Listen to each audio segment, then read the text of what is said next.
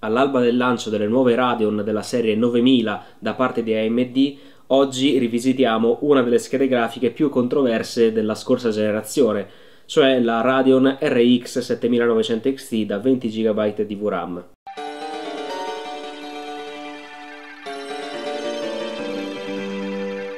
Ciao ragazzi, ciao a tutti e bentornati qui sul canale del vostro Nintendaro pazzo. Oggi siamo qui per una recensione della Radeon RX 7900 XT, proprio poco prima del lancio delle nuove Radeon basate su architettura RDNA 4. Come vi ho detto dall'intro, questa secondo me è una delle schede grafiche più controverse dell'ultima generazione per il semplice fatto che uscì al lancio nel 2022 con un prezzo MSRP di 900 dollari per poi essere abbassato repentinamente nel giro dei mesi fino all'attuale soglia di 680 euro alla quale possiamo comprare anche questa custom della ASRock. E quindi sì, oggi nel 2025 andiamo a rivisitare questa RX 7900 XT con però un'altra minaccia minaccia, potremmo dire, cioè quella dell'uscita delle nuove Radeon, che potrebbero far sì che questa scheda al prezzo attuale possa non avere più molto senso, quindi mi raccomando, ovviamente tutte le considerazioni finali le vedremo dopo aver visto i benchmark e ora direi però prima di passare alle specifiche tecniche e alla piattaforma di test, ovviamente vi ricordo come sempre di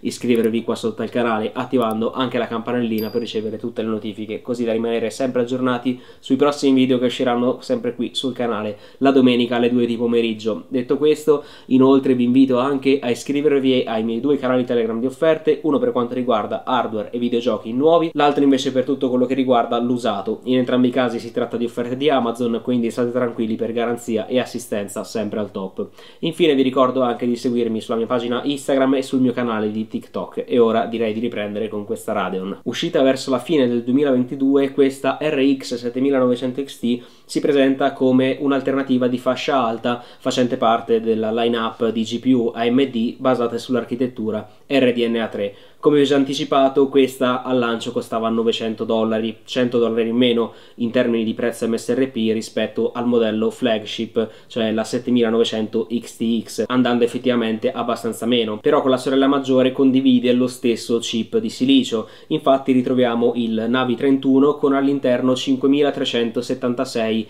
core sbloccati che operano a una frequenza di boost dichiarata di circa 2400 MHz, però con i modelli custom come questo vedremo che la frequenza arriva facilmente anche a 2,7 GHz che non è niente male. Anche il comparto VRAM è molto interessante perché al suo interno ritroviamo 20 GB di memoria VRAM GDDR6 con un bus a 320 bit per un totale di bandwidth di 800 GB al secondo che rispetto anche alle controparti Nvidia non è niente male. Poi ovviamente bisogna vedere come si comporta nei giochi e negli applicativi ma questo lo vedremo fra pochissimo. Un altro aspetto importante è il TDP che in questo questo caso si attesta sui 300 watt e anche il consumo relativo non si allontana di molto da questa soglia. Nel caso di questa custom infatti arriviamo a un consumo massimo osservato di 315-320 watt che comunque per il livello di prestazione offerto da questa scheda non è niente male. Per quanto riguarda il modello di custom che metteremo sotto test nel video di oggi abbiamo questa ASRock Phantom Gaming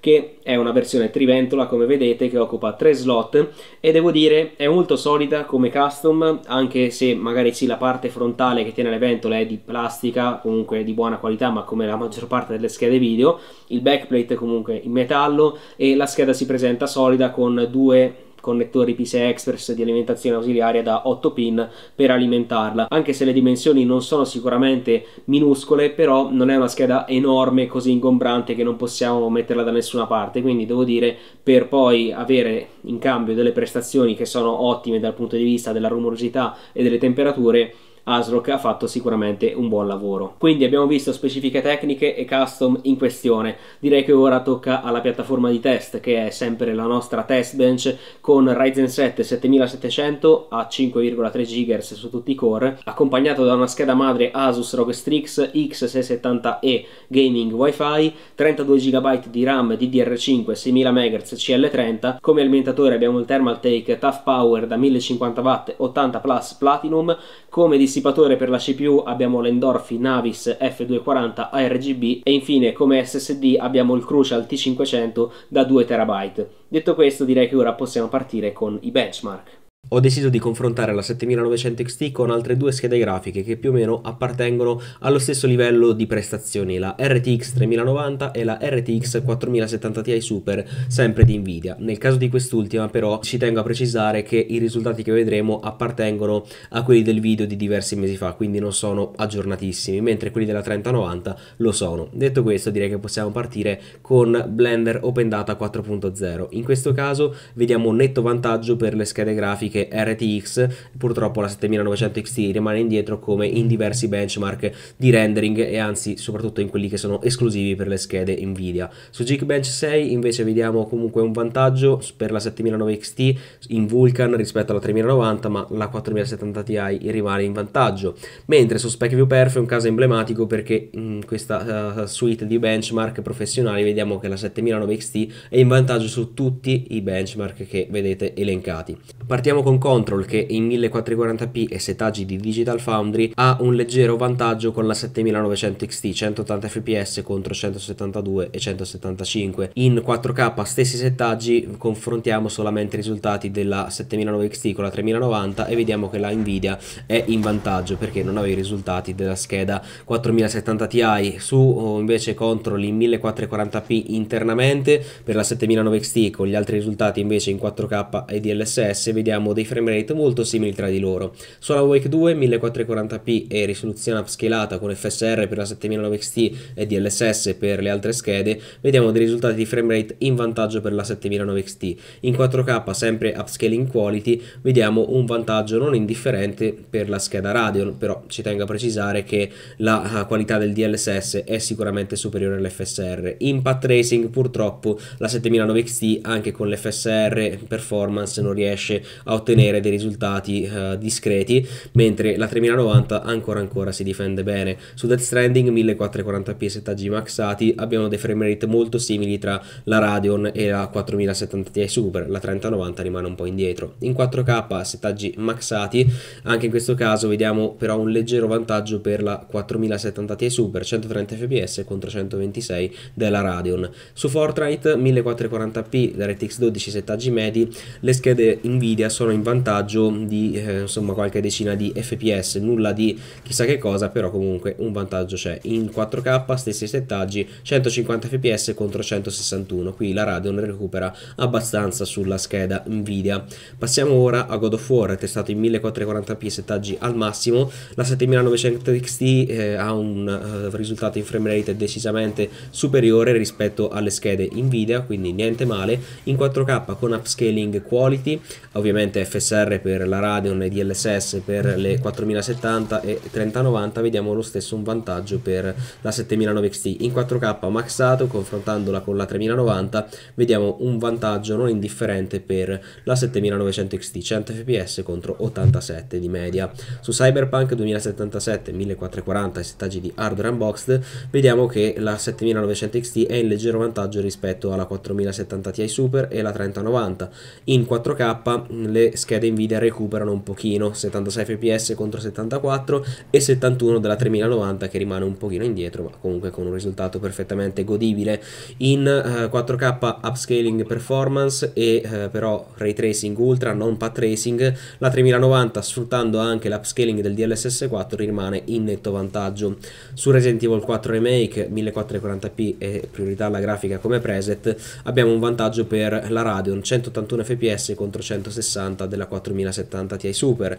In 4K i preset RT, anche se è un gioco che non va a sfruttare chissà quanto ray tracing, la scheda Radeon rimane un pochino in vantaggio. Su The Finals 1440p e settaggi medi però senza ray tracing, 171 fps contro 170 della 3090. I prossimi risultati che vedremo secondo me sono molto influenzati dal DLSS che offre effettivamente una qualità superiore su The Finals. Siamo a 135 fps con um, i 1440p scaling quality e tutto epico con anche ray tracing, mentre in 4K eh, upscaling performance è sempre tutto epico, la, uh, sempre la 7900 XT rimane in vantaggio rispetto alle altre schede, ma secondo me come vi ho già detto è dovuto al fatto del upscaling che è mm, insomma più pesante, il DLSS anche però in termini grafici è migliore. Su Black Myth Wukong anche qui abbiamo l'upscaling FSR che porta dei risultati molto simili tra le schede, in eh, 1440p con ray tracing ultra purtroppo la 7900 XT non riesce a um, rimediare creare un risultato giocabile. Su Age of Mythology Retold 4K maxato senza ray tracing abbiamo in tutti e tre i casi dei frame rate molto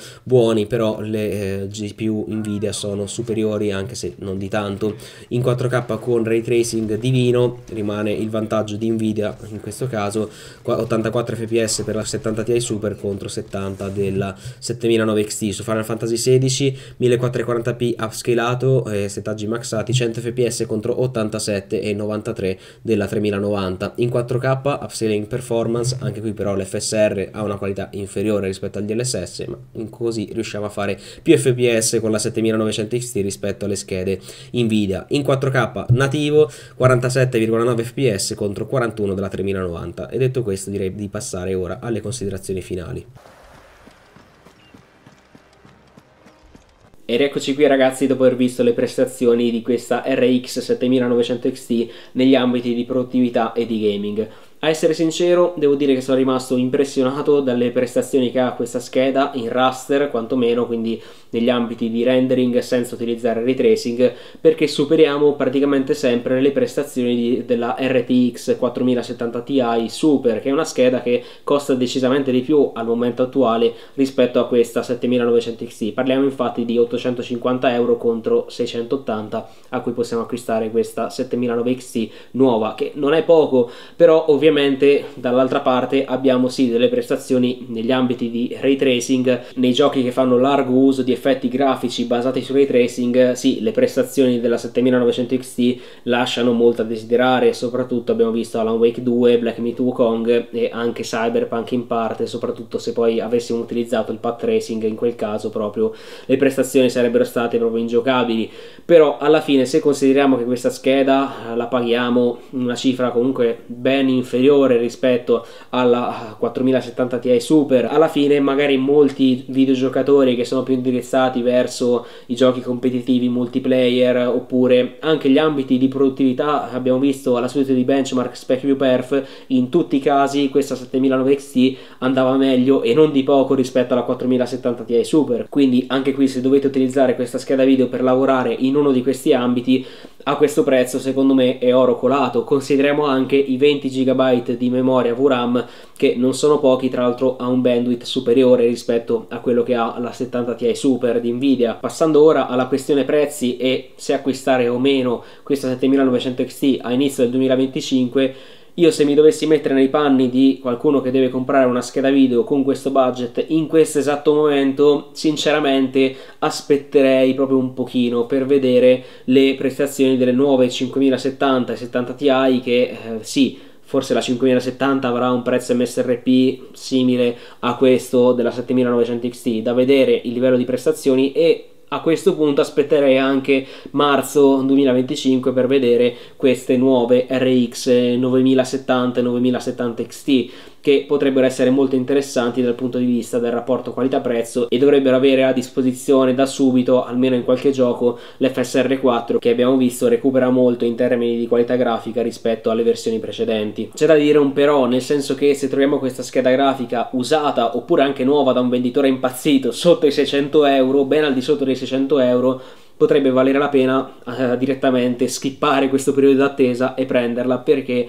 con questo livello di prestazioni a questa fascia di prezzo, quindi potremmo dire 550 euro, 560 intorno a questa soglia, secondo me è difficile che, eh, insomma, sappiamo già Nvidia non andrà a puntare per adesso su questa fascia di prezzo perché la 5070 sarà a 660 euro. AMD potrebbe sì, con magari la 9070, però non è detto che arrivi a un livello di prestazioni pari a questo della 7900 XT e per questo motivo, ripeto, a questa soglia di prezzo sotto, ben al di sotto dei 600 euro, la 7900 XT vale sicuramente la pena. In tutti gli altri casi, ve l'ho già detto, abbiamo fatto 30, facciamo 31 e aspettiamo di vedere quello che hanno da offrire le nuove schede grafiche Nvidia e le nuove AMD. E anche oggi siamo arrivati alle conclusioni di questo video. Io come sempre spero che vi sia piaciuto, se è così mi raccomando fatemelo sapere con un bel mi piace qua sotto e nei commenti fatemi sapere se avete questa scheda video, se avete intenzione di prenderla o magari decidete di aspettare o quello che vi pare insomma. Detto questo io vi consiglio come sempre due video che se non avete visto vi invito a guardare. Il primo è quello che riguarda un'altra scheda AMD, cioè la RX 6800 XT che abbiamo rivisitato a fine del 2024 in un confronto con la RTX 4070. Come secondo video invece vi consiglio quello riguardo la mia CPU, cioè il Ryzen 9 7950X, processore che attualmente si può trovare sui 400 euro, usato forse anche qualcosina meno. Detto questo è veramente tutto, io come sempre vi ringrazio per aver visto questo video e noi come sempre ci becchiamo alla prossima. Ciao a tutti ragazzi!